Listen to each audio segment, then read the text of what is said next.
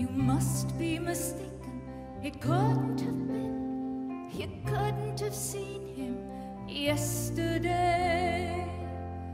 He's doing some deal up in Baltimore now. I hate it when he's away.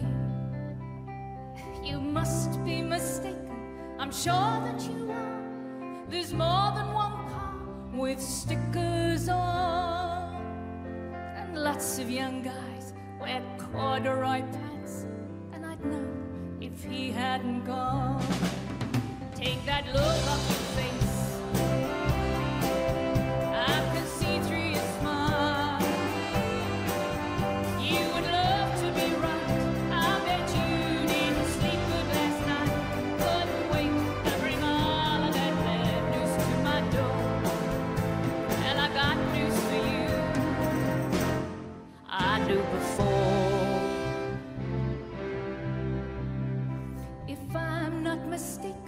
It started last year.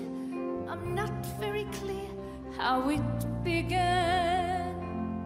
I noticed a change, but I just closed my eyes as only a woman can.